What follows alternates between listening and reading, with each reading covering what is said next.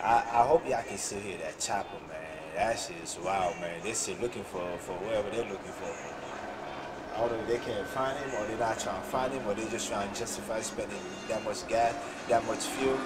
But no, no. Trump's campaign also paid more than $28,000 to Bannon Strategic Advisors, the consulting firm of, of Steve Bannon, Trump's chief strategist for what was categorized as administrative assistance. Now, this is October 1st, 2018. Bannon ain't with him no more. He ain't been with him in like a year. So, Trump's properties were a regular beneficiary of campaign funds. In the first quarter of the year, his campaign committee paid nearly $270,000 for rent at Trump Tower in New York City, nearly $14,000 for rental and catering services at Trump International Hotel in Vegas, more than $8,700 to Trump Restaurants LLC in New York City, also for rental and catering services, and more than $3,600 for lodging at Trump International Hotel in D.C.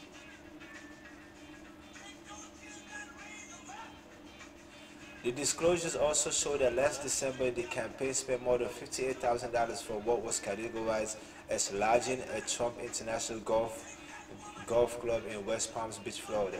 Nearly $22,000 for lodging at Trump International Hotel and Tower in Chicago, and in late November and December of last year, about $2,500 for lodging at Trump's Washington Hotel.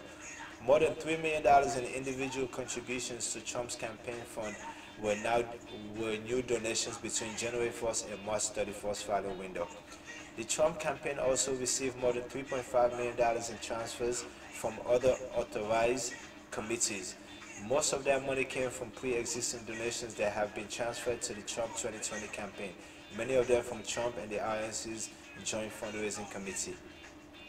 Many of the tra transfers were made specifically for the 2020 primary, not the 2020 general election, given that this is the next campaign the president plans to enter. Wow. That was interesting. That was quite interesting indeed.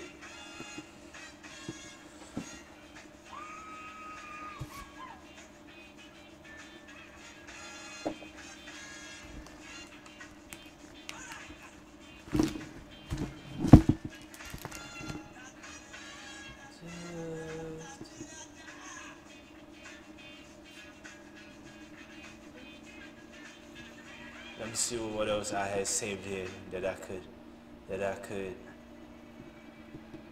that would be interesting reading. Yeah, well, let's see what else I got here. Let me see what else I got here. Kumotai blind test.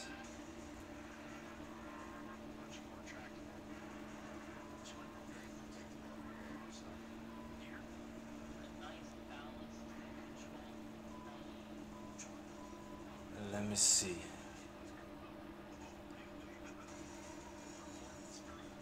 One in eight people who voted for Trump having second thoughts.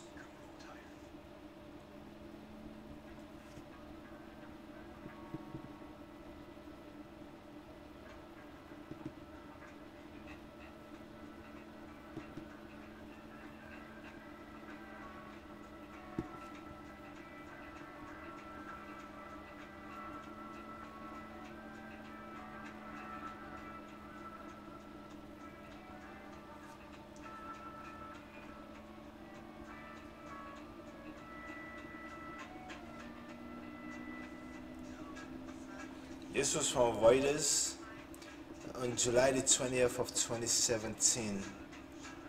It's by Chris Kahn. Oh yeah, Chris had an awesome article last time, so. It says one in eight people who voted for Trump are having second thoughts, according to the Reuters Ipsos poll. About one in eight people who voted for President Donald Trump said they're not sure they will do so again after witnessing his tumultuous first six months in office according to a Reuters poll of 2016 voters. While most while most of the people who voted for Trump on November 8 said they would back him again, the erosion of support within his within his winning coalition of older, disaffected, mostly white voters poses a potential challenge for the president.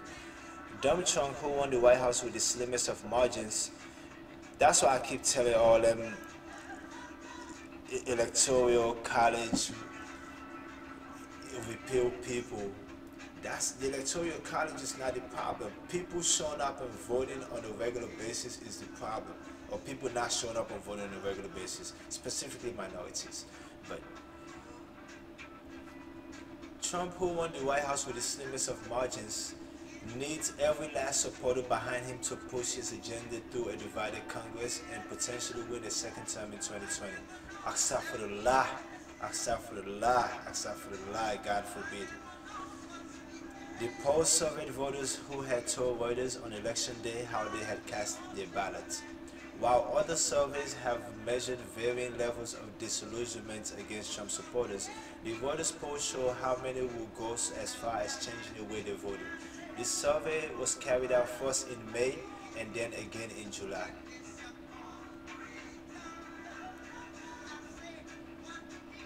In the July survey, 12% of respondents said they would not vote for Trump if the 2016 elections were held today.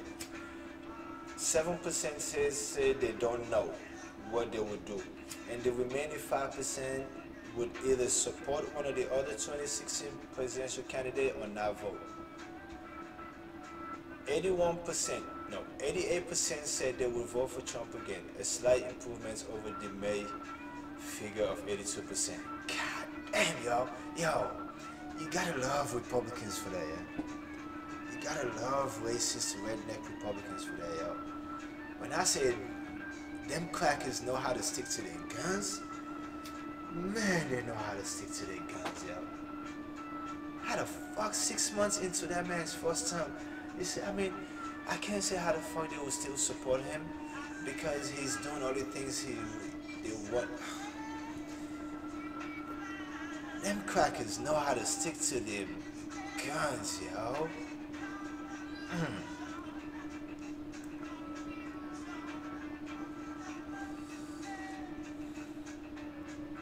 88% say they will vote for Trump again, a slight improvement over the May figure of 82%. Taken together, the polls suggest that Trump's standing with his base has improved slightly over the past few months despite his Republican Party's repeated failures to overhaul the healthcare system and multiple congressional and federal investigations into his campaign's ties to Russia. To be sure, most presidents among supporters the longer they are in the White House. According to the Gallup polling service, former President Barack Obama saw his popularity dip among Democrats and minority voters, though it did not come until later in his first term. But Obama, who won the Electoral College with greater margins than Trump, yes, yes, guilty. What? My man Obama crushed it. Crushed both of them. Say, now let me stop, let me stop. Forget about it. I'm sorry, Trump. It don't matter what you say, bro. Like, Obama crushed your shit. Like, like, killed it. Killed it. Like, done for. I digress. President Barack Obama. President Barack Obama saw his popularity dip among Democrats and yes, I am living in the past. I ain't mad at it. My mind is still stuck in stuck on November 7, 2016. Yes, I ain't mad at that. 11 7 15. Well, 11 7 16? Yeah, let's go. President Barack Obama saw his popularity dip among Democrats and minority voters, though it did not come until later in his first term. But Obama, who won the Electoral College with greater, greater margins than Trump, was not as reliant on retaining his core supporters. Was not as reliant on retaining his core supporters. So if you black in America and you claim to have voted for Obama in 20 in 2008 and you wonder what did he do for the community, he did a lot for America which the black community is part of. Yes, we have been disenfranchised for too long and sometimes we feel like we're a separate part of that. But the community that that man did a lot more for included a great part of our community. So by by definition, he did a lot for us. We just didn't do that much for us. You know. Back to Chris. But Obama, who won the Electoral College with greater margins than Trump, was not as reliant on retaining his core supporters. The minority of Trump voters who says they will not vote for him again gave varying reasons in interviews for why they had changed their minds. Some were tired of his daily trolling of Democrats, the media, and the judiciary. Some were disappointed that the Trump administration have not yet swept illegal immigration, illegal immigrants out of their communities. You know why? Because those immigrants you are seeing in your communities are not illegal. Just because people speak with an accent don't mean they're illegal. I am legal, L-E-G-A-L, like a lot of other people. I'm gonna show you at some point. I've paid my taxes and I still pay my taxes. Every two weeks I get my check, taxes come out. I get mad as hell, but still, that's what makes America great, right? It was already great, you dumb fuck. We just had a black president. Some were tired of his daily trolling of Democrats, the media, and the judiciary. Some were disappointed that the administration had not yet swept illegal immigrants out of their communities. Others said the president had not ended the mistrust and, mistrust and hyper-partisanship in Washington as much as they, they, they had, hoped. T-shirt politics. If I if I had to walk around wearing a T-shirt saying who I voted for, I may have voted differently, says Beverly Guy, 34, a Trump voter who took who took the poll in July. If the elections were held to, were held today, Guy says she will vote for Libertarian candidate Gary Johnson. The guy says she picked Trump mostly because she did not support Democratic candidate Hillary Clinton. She never cared that much for Trump and now finds him rational, herself rationalizing a decision that has angered many of her friends. I care more I care more about my neighbors than I do about politics, she said. Another poll respondent, Brian Barnes, said he has stand he was standing by his choice to vote for Trump. He thinks the media is focusing too much on the Russia investigation and not even, mm, not enough on Trump's accomplishments, like his elevation of another conservative justice to the Supreme Court they will talk about Neil Gorsuch here. They not talk about Kavanaugh. They will talk about Neil Gorsuch. This was last year, remember? Stay with me here. Even Gorsuch shouldn't have been there. It should have been Merrick Garland, but you know, we're going to leave that one alone. I think he's doing all he can, Barnes said, even though the Republicans in the House and Senate are creating a lot of problems by not passing a health care bill. Experts in American politics said it makes sense that a transformative political figure like Trump will retain a high degree of loyalty from his supporters, no matter what negative headlines are swirling around the White House. Political wins do not shift quickly in a strong economy, they said, especially when many of the president's decisions have yet to take root. Thank you, Chris.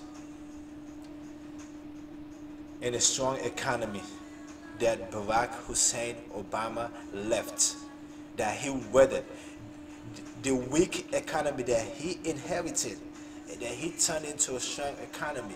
We still, we still, we still get the benefits of it now, but those benefits are ending soon, starting in November, December this year. That's how things work. I'm, I'm not saying I have any inside information, and I'm just saying I have lived here since December of 1998, and I have noticed it. I've paid attention to shit. I have walked into a store in November of, of 2008 and know that the price of a, of a gallon of milk was different from the price of a gallon of milk in November of 2006 because of who the president was, because of what policies were, were had been put in place already. You know, that part. Political winds do not shift quickly in a strong economy, they said, especially when many of the president's decisions have yet to take root. People are still invested in the choices they, they made on election day, said Larry Sabato, director of the University of Virginia Center for Politics. They're not about to admit that they're wrong, at least not yet. Elaine Kamarck, an expert in American electoral politics at the Brookings Institute, said, said the erosion in Trump's base could certainly hurt his chances of re-election, though it is too early to say so for sure. The most important question is whether he loses support where it counts, in battleground states that he barely won last year. If these disenchanted Trump voters are in California, it doesn't matter, Kamarck says. If they live in Wisconsin or Michigan or Pennsylvania, it matters. So if you're black and live in Wisconsin, the state where Colin Kaepernick grew up in, if you're black and live in Michigan, if you're black and live in Pennsylvania, please go out and vote. And I can't tell you who to vote for, but I can tell you don't vote Republican. The Reuters Ipsos poll was conducted online in English throughout the United States and has a credibility interval, a measure of accuracy of about 5 percentage points. The July 12, the July 11 to 12 poll gathered its sample from 1,296 people, including 514 Trump, Trump voters, while the May 10 to 15 poll gathered its sample from 1,206 people, including 543 Trump voters.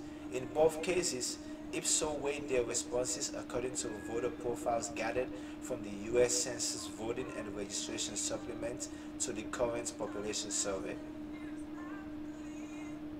Reporting by Chris Kahn, editing by Ross Colvin. That was an awesome read. I'm sorry, I, I, I don't care what you said. That, that was an awesome read. Awesome read. Let me go back. Let me go back. Let me see what else I got here.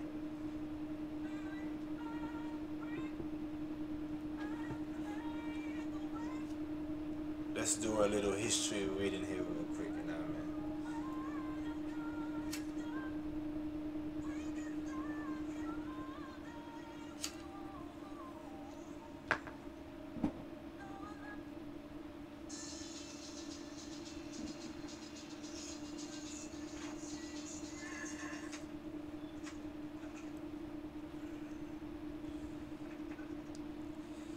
This is from Bunkerville. Bunkerville.wordpress.com. It's from 2011. It doesn't say who, but you know, this is one of those. It looks like one of those. Uh, one of those uh, Republican, one of those Alex Joneses kind of propagandist pages, you know what I mean?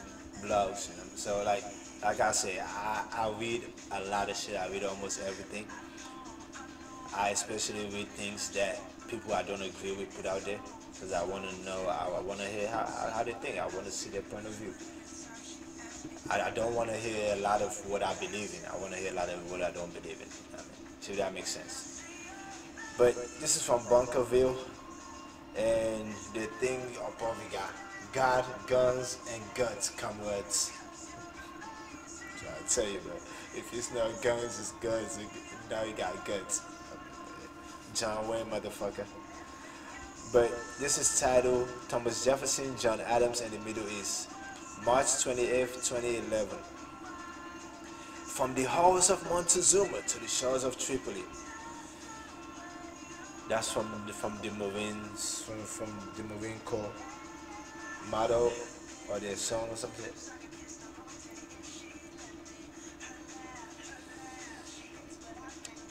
It says, it was Jefferson's Quran that the first Muslim representative, Keith Ellison, used when he was sworn into office. Jefferson understood the Muslims. Now, I gotta stop here for a second because whenever you're reading some or you read, uh, you listen to somebody say something, and all of a sudden they're referring to a group of people as they're this, like the Muslims, the Jews, the blacks, the gays, the this, the the, the, the Latinos, or like they like to say, the speaks, what I mean? Whenever they put a they in front of it, all they know, they're coming from a prejudiced, bigoted, racist mentality to start with. And there is no arguing that. Period. Hey, before I move forward, right? It's on the left of the page, right? It has a thing like the navigation bars on the left. It has a Twitter link that says follow Bunkerville. It has a live clicking link and it has Al Jazeera, Al Jazeera live in English link and it has a Fox live link. And I'm gonna tell you right now, you're probably thinking, oh, if they're supposed to be racist and anti-Muslim and all that, why do they have an Al Jazeera link? You know why? Because they want somebody.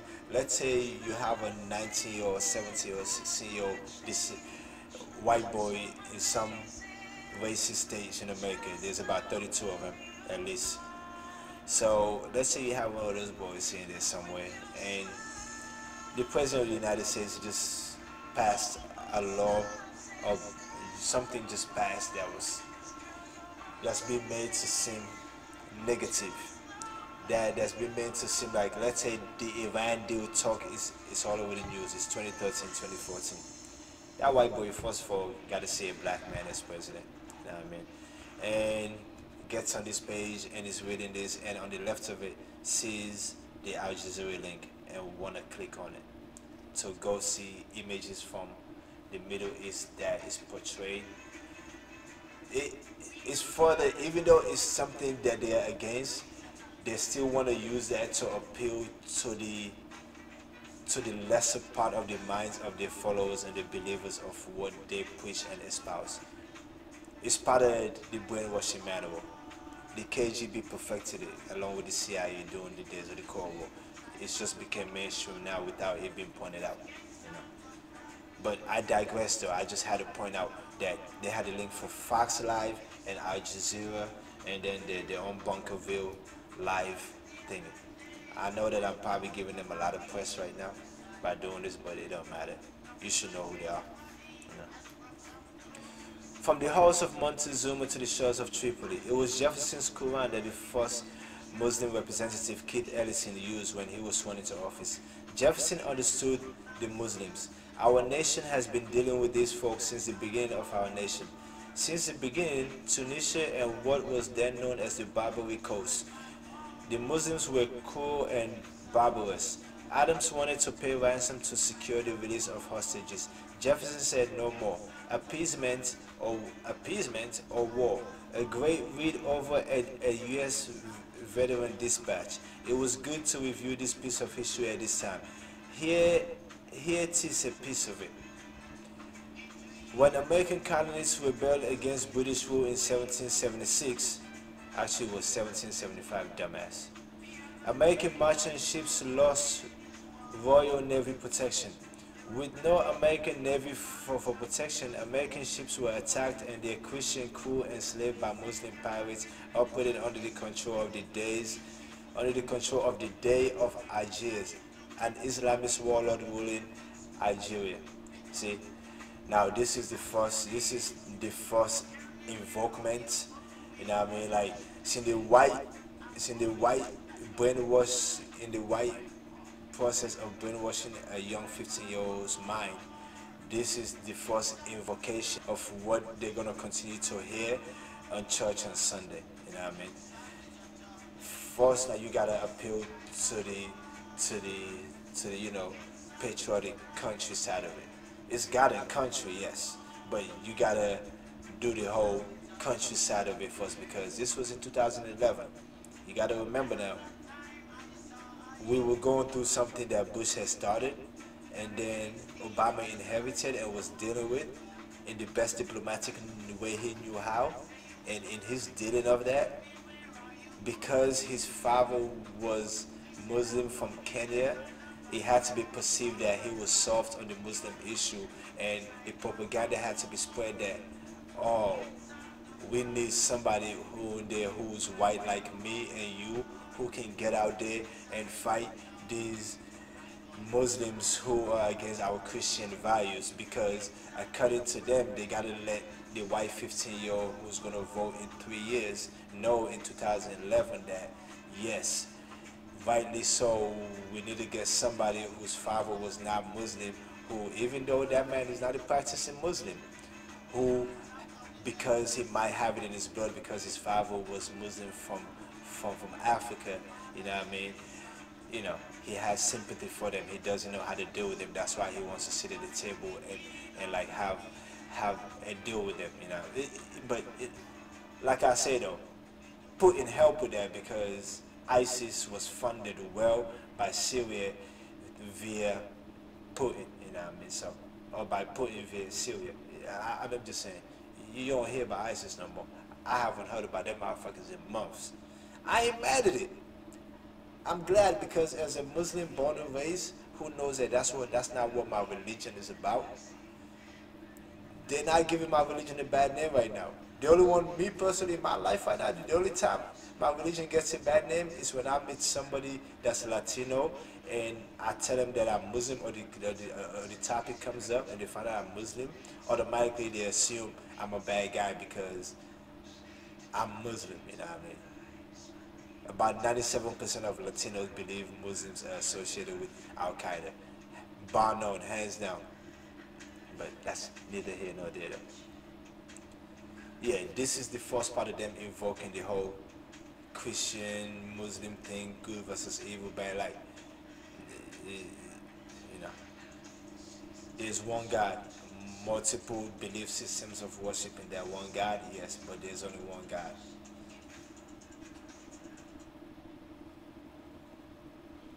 I digress though. When American colonists rebelled against British rule in 1776, 1775, dumbass, whoever wrote this, you, you didn't put your name on it, so I guess I'm just gotta call you dumbass. American merchant ships lost Royal Navy protection. With no American Navy for protection, American ships were attacked and their Christian crews enslaved by Muslim pirates operating under the control of the Dey of Algiers, an Islamist warlord ruling Algiers.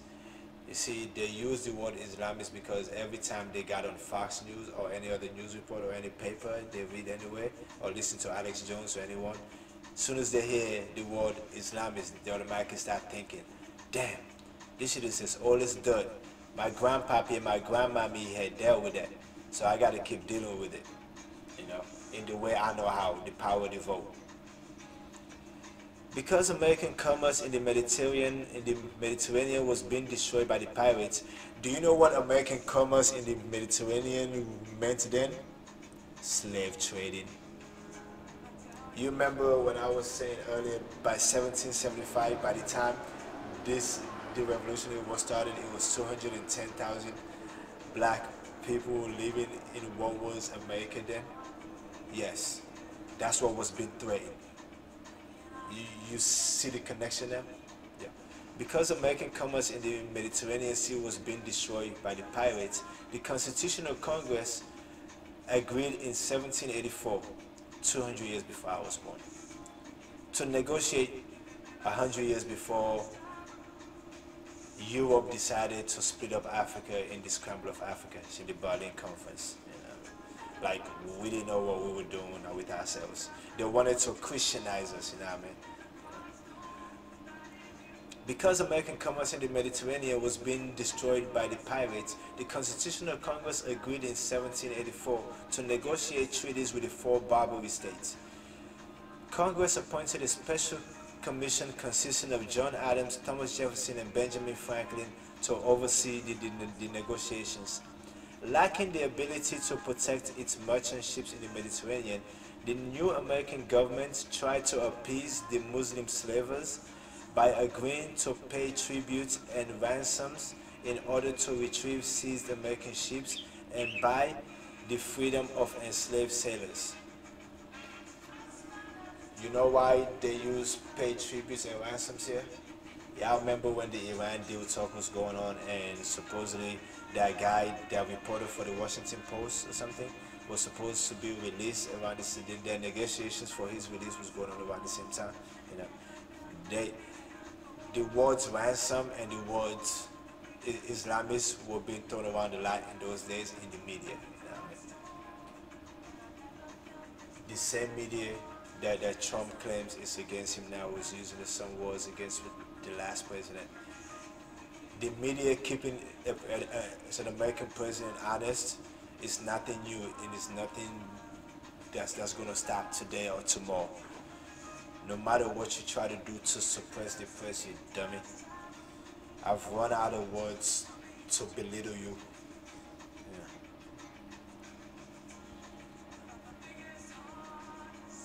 Adams argued in favor of paying tribute as the cheapest way to get American commerce in the Mediterranean moving again. Jefferson was opposed. He believed there would be no end to the demands for tribute and wanted matters settled through the medium of war. He proposed a league of trading of trading nations to force an end to Muslim piracy. In 1786, Jefferson, then the American ambassador to France, and Adams, then the American ambassador to Britain, met in London with Sidi Haji Abdul Rahman Aja.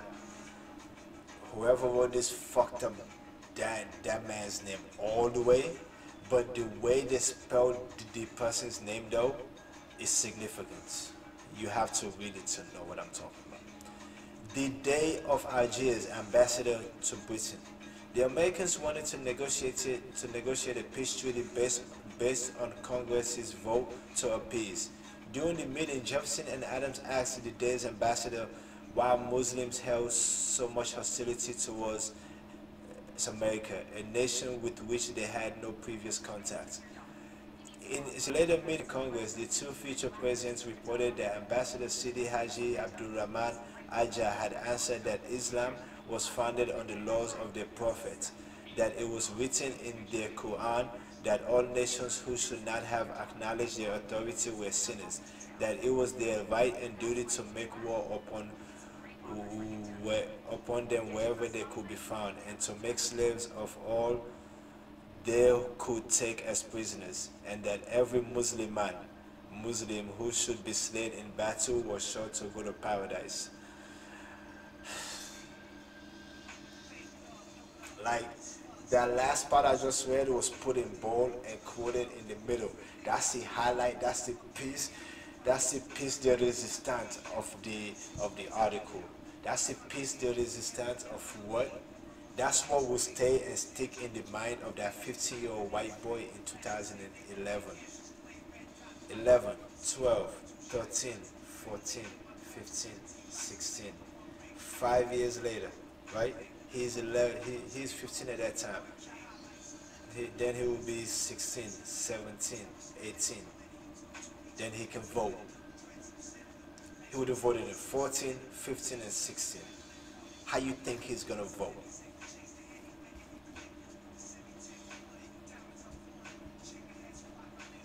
I'm just saying.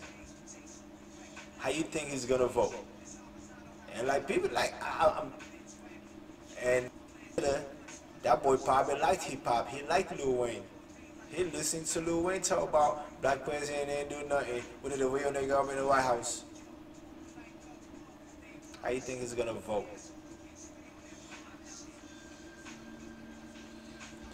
For the following 15 years, the American government paid the Muslim the Muslims millions of dollars for the safe passage of American ships or the return of American hostages. The payments in ransom and tributes amounting to 20% of the U.S. government's annual revenues in 1800.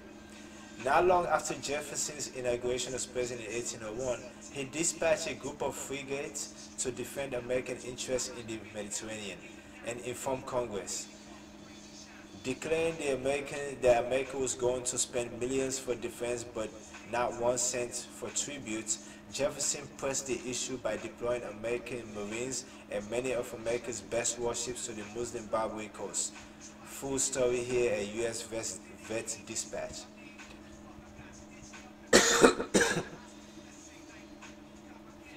now, I gotta tell you everything that's been that's been that I just read from this site from this piece is wrong.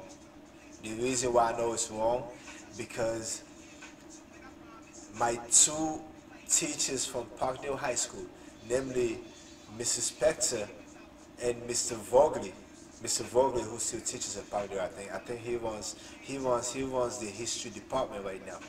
You know what I mean?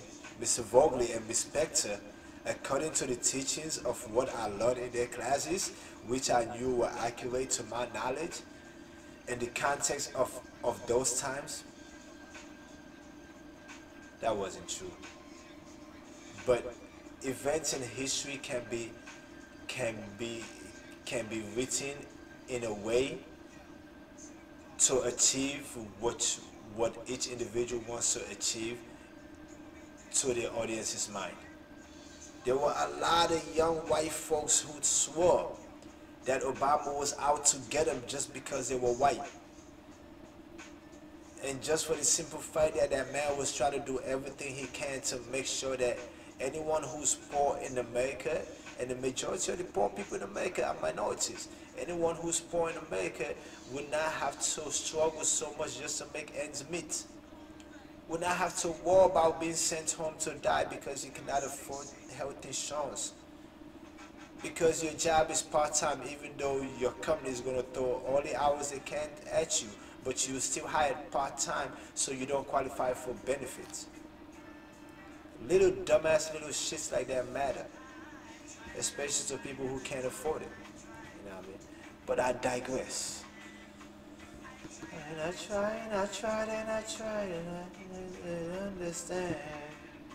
I try and I and I and I.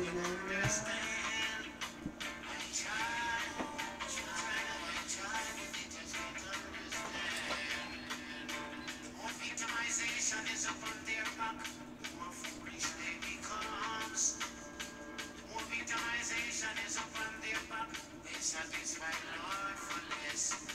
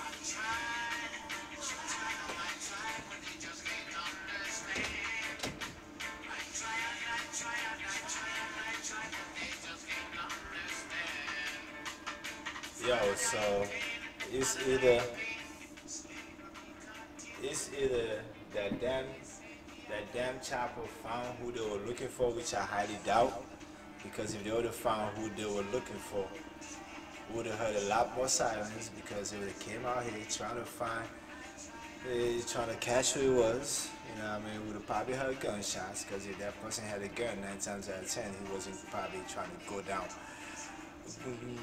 go down without a fight, you know what I mean? But, you know, they spent like 12 minutes, probably max, probably, try to find whoever that was, and that was it. You know, it's awesome. Gotta love it.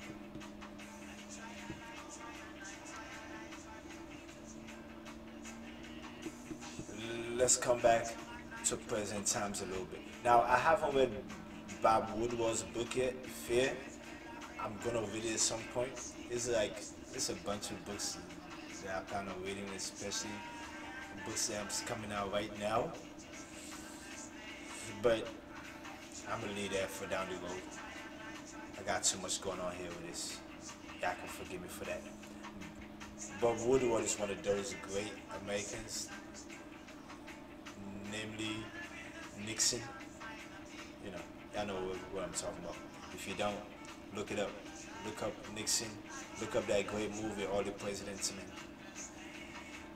This is from CNNnews.com. It was from September 9th of 2018. I don't see. Let me see. Let me go down a little bit. Let me see if it says who, who wrote it. It says the story was produced by Mary Walsh. The story was produced by Mary Walsh on September the 9th uh, of 2018, CNNnews.com. Bob Woodward, quote, people better wake up to what's going on in the, close quote, in the Oval Office. Watergate journalist Bob Woodward made headlines once again. Made headlines once again this past week with his new book about the Trump White House entitled Fear. This morning, in his first TV interview, Woodward paints a different a picture of, for our David Martin on an administration in disarray. You look at the operation of this White House and you have to say, let's hope to God we don't have a crisis, said Bob Woodward. Man, Bob, we right here. We right here there, bro. No lie. Let's hope we don't. That's why I'm so hoping, yo. I, I have gotta, like, I'm gonna say this now. I have agonized over throughout the whole year and four months it's been taking me while I've been working on this whether what I should erase, what I should keep, what I shouldn't keep, what I should, how I should tone down what I'm saying or what I'm trying to say, because this guy is thin-skinned as hell, and anyone who knows me tell whoever who don't know me that's standing next to you right now that you know that yeah if it's anybody who knows how to get under people's skin it's alpha and i'ma say right now i am so hoping i am so hoping some crisis don't end up being triggered because this dumbass is mad at something i have to say about what's going on about what i'm doing here. Because i will hate for that to end up being part of my part of what my potential legacy might end up being. I would truly, truly, truly hate for that to be the case because this guy is an idiot of the highest, of the highest fucking regards, yo. No goddamn lie, you know what I mean? But I digress. I just had to stop it there because Bob Woodward ain't never lie, and this is Bob Woodward now. If you don't know who Bob Bob Woodward is, you better find out.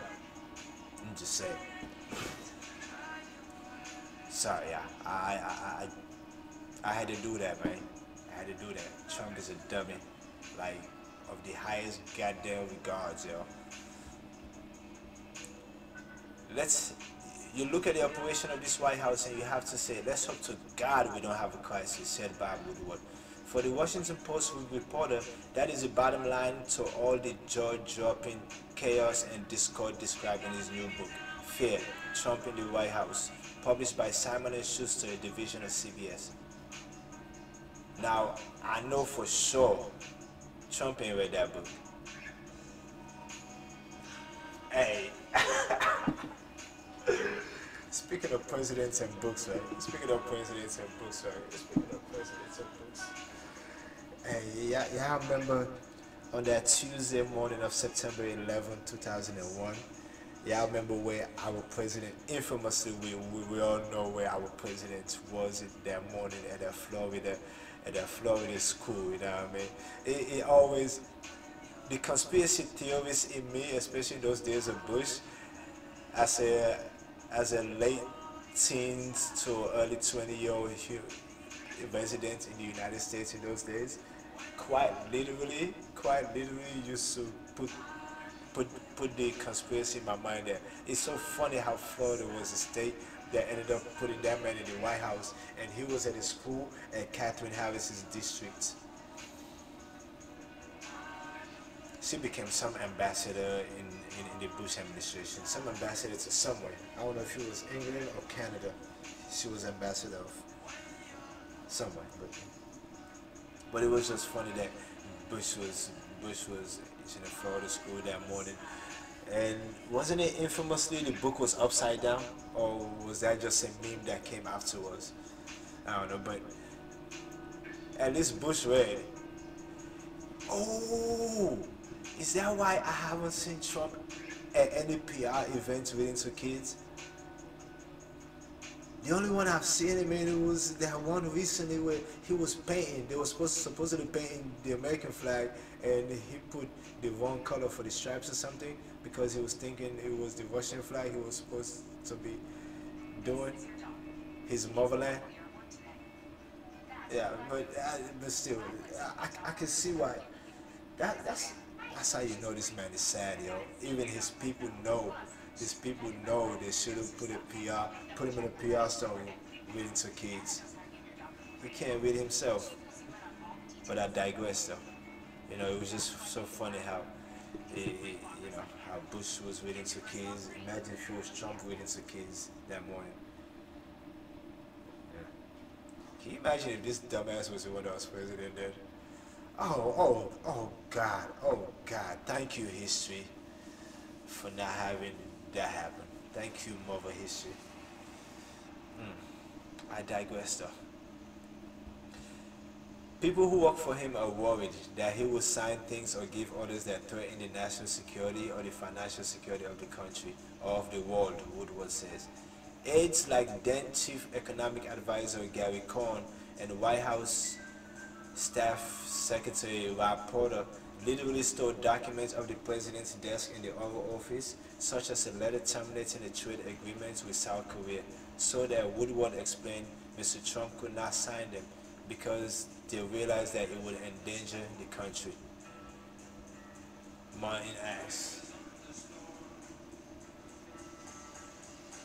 Asks, how did they get away with that? Trump doesn't remember. If it's not on his desk, if it's not immediately available for action, it goes away.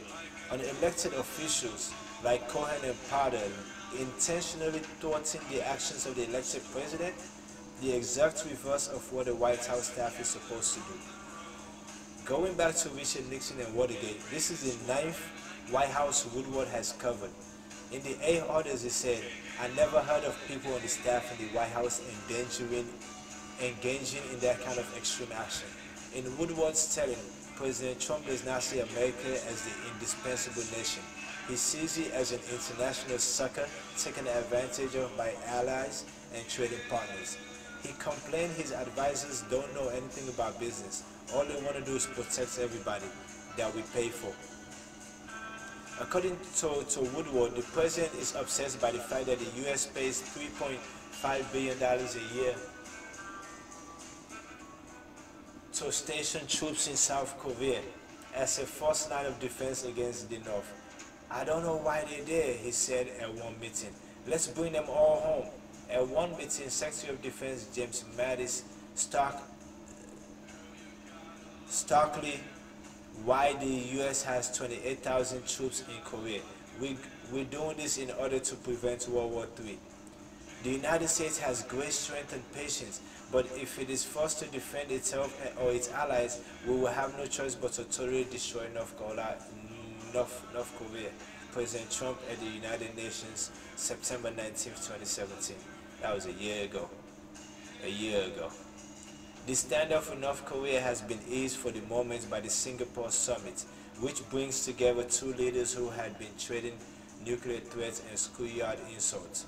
Trump said this, Rocket Man is on a suicide mission for himself and for his regime.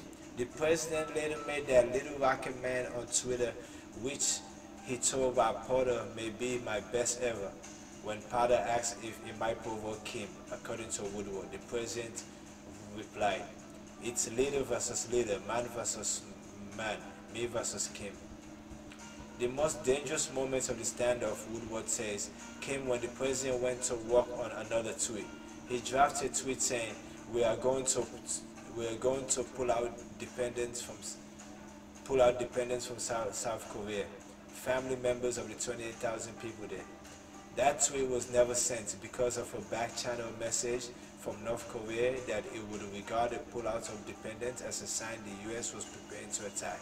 At that moment, there was a sense of profound alarm in the Pentagon leadership that, my God, one tweet and we have reliable information that North Koreans are going to read this as an attack is imminent, Woodward says. The president surrounded himself with generals, active duty and retired, all of whom had served in Afghanistan. But before he decided on the new Afghan strategy, he insisted on meeting with enlisted men who had served there as well. In a meeting the next day, he lashed out at the generals. I don't care about you guys, he said to Mattis, Joint Chief, Joint Chief Chairman General Joseph Dunford, and then National Security Advisor H.R. McMaster. The soldiers on the ground could run things much better than you, he said to Mattis and Dunford. And there's a 25-minute dressing down of the generals and senior officials, said Woodward. In a recent tweet, the president acknowledged, I'm tough as hell on people, and if I want, if I want, nothing will get done. When he didn't like a trade deal Commerce Secretary Wilbur Ross had negotiated with, with China, the president leading to him at the White House meeting. It's a terrible deal. We guess we got screwed. We passed our you pass your prime. You're not a good negotiator anymore. You've lost it. I don't trust you. It sounds like a fucking child. Oh my god, this guy's a baby. Wow.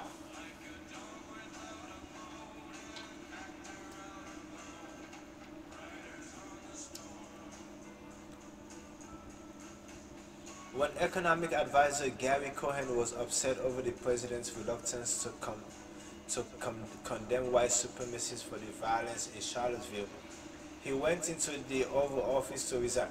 Oh my God, I just had a thought. Imagine if it was North Carolina that had their, their law that said that you could run over a protester and not get sued over it. And Trump, and that, that shit had happened in North Carolina, and then what would Trump have said? He would have congratulated North Carolina. Mm. Mm. Just a thought, yeah, just a thought. When economic advisor Gary Cohen was upset over the president's reluctance to condemn white supremacists for the violence in Charlottesville, he went into the Oval Office to resign. According to, Walter Woodward, Trump said, You can't resign. I need you to do tax reform. If you leave, this is treason. And Trump talked him out of resigning. so that's why that tax reform was passed, because you, hey, I feel you, bro. Do what you do, dummy dumb Trump. Afterwards, Chief of Staff John Kelly, who had been in, in the room, pulled Cohen aside. Cohen wrote this down, quote from quote, quote from General Kelly. If that was me, I would have taken that resignation letter and shoved it up his up up up up his ass six six different times.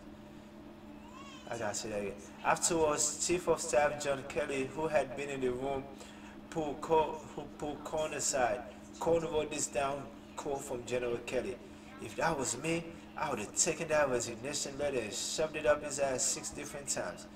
The president has been bracing for Woodward's book since last month when the two when the two lamented or at least pretended to lament that they had not talked. Woodward recorded the phone conversation with the president's permission. Quote, Trump, it's really too bad because nobody told me about it and I would have loved to have spoken to you. You know, I'm very open to you. I think you, you've always been fair, Woodward. It's a tough look at the world and your administration and you. Trump, well, right, well, I assume that means it's going to be a negative book. That's alright. Some are good, some are bad. Sounds like this one is going to be a bad one. Like you gonna read it. Shut your dumb ass up. Last week, when the contents of Fear began to leak ahead of its scheduled publication, the president said it was worse than bad. The book is a work of fiction, Mr. Trump argued. How you gonna know you ain't read it? I bet you Trump is about to tweet right now. He about to tweet that he read that book. Or somebody about to have it read it or something. And then tweet an excerpt from it. He gonna snapshot it. He gonna snapshot himself with it. He gonna I take a selfie with it. He gonna be like, "Shit, he gonna take a selfie.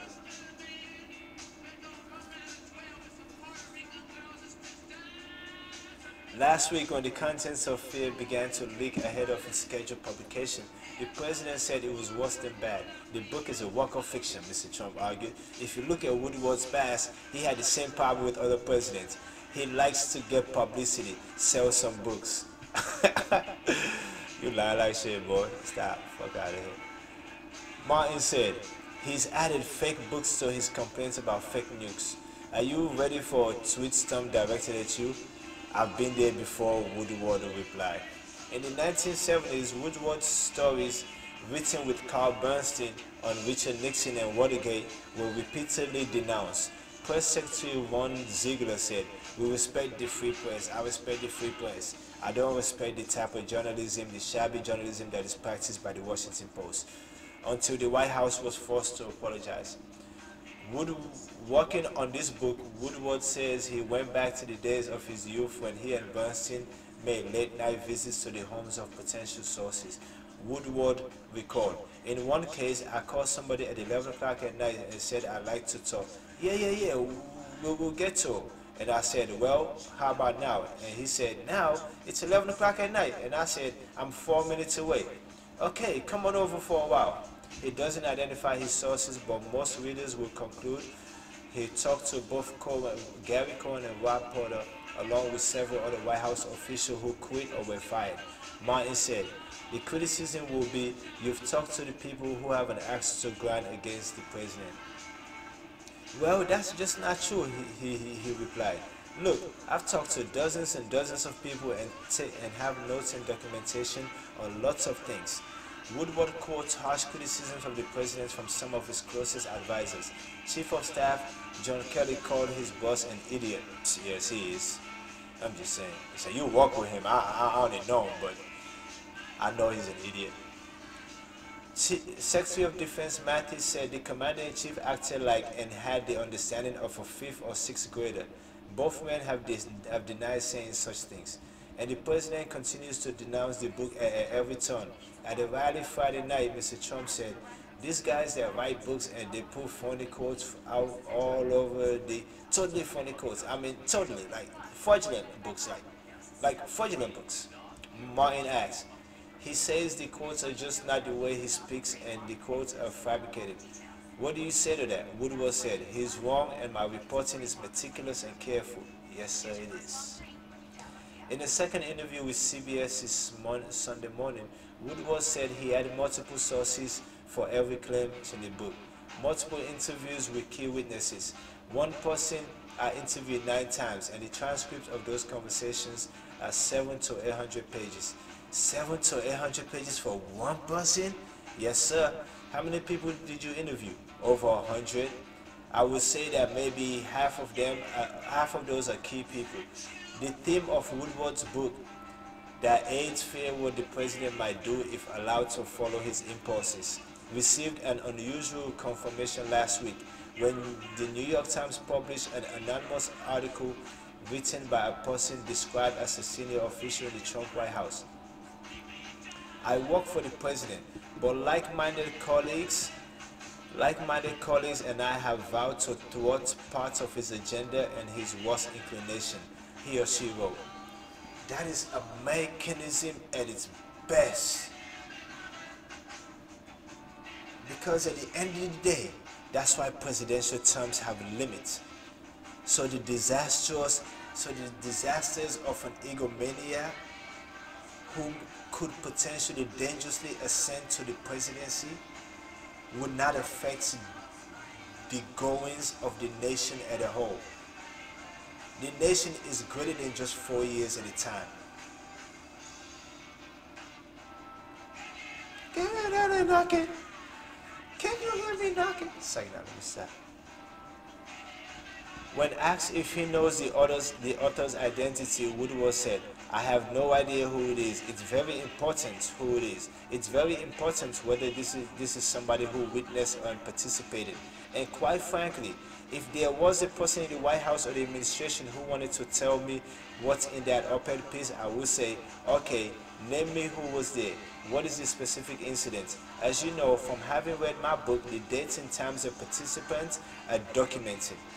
He said that without that detail on the on the op-ed's author story, I wouldn't have used it.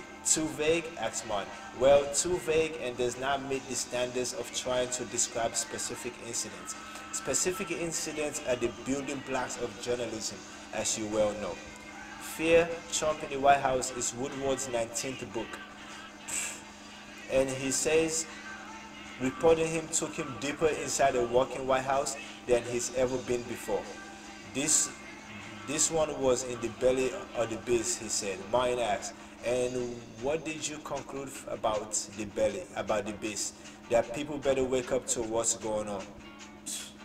Yeah, people better wake the fuck up. We would talk, yeah. This man is a problem, yeah. This man is a problem, yeah.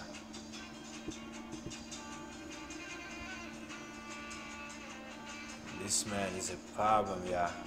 To tell you, man. This man ain't no good.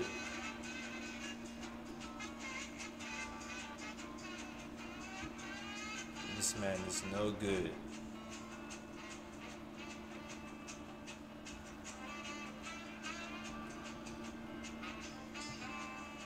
This man ain't no good, yeah.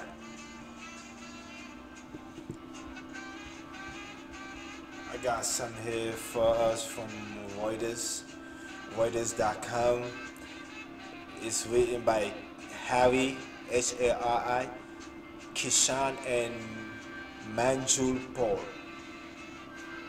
Manjul spelled M A N J U L. In its title, U.S. economy expected to slow, damaged by trade war. Reuters poll.